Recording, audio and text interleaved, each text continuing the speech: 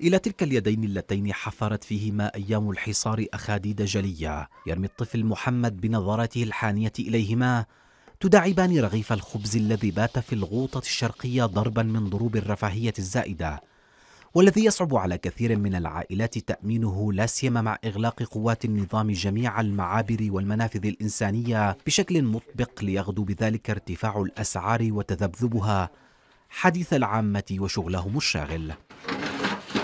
والله هلا هالأسعار كثير كثير جانه فرد جنانة.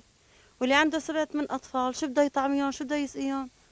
التجار مخبية البضاعه والطرقات الأمن مسكرة ما عم تفوت علينا ابدا ابدا. لم يكن النظام هو الوحيد في حصار الغوطة بل أيضا كان للتجار دورهم الأكبر في مشاركته إطباق الخناق على الأهالي من خلال إخفاء المواد الغذائية واحتكارها والتلاعب بأسعارها. لتصل إلى حد يعجز فيه الناس عن شراء حاجاتهم الأساسية كمادة الطحين والحبوب والوقود وهو السبب الذي جعل نسبة الفقر ترتفع إلى مستوى قياسي في ظل البطالة المرتفعة أصلا. لقينا لا محروقات ولا إنه غاز ولا لك سمنة وزيت ما عندنا لقينا لمصلحتنا هلأ هون.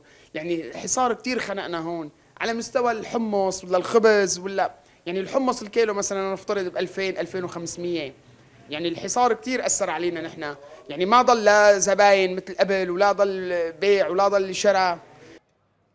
جنون الأسعار وغلاء المواد الأساسية زاد من مخاوف العامة من عودة أصعب أيام الحصار وأشقها والتي مرت عليهم خلال عام 2014 عندما سجلت وفيات في وقتها نتيجة الجوع والمرض وانعدام الأدوية والتي تعد أبسط مقومات الحياة الإنسانية.